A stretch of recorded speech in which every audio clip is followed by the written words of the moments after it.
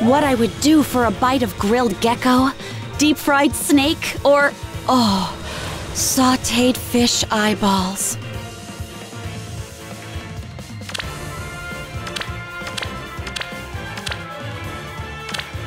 Being here, supporting you, I almost feel like an emblem. I hope you know I'll always fight to protect my allies, whoever they are.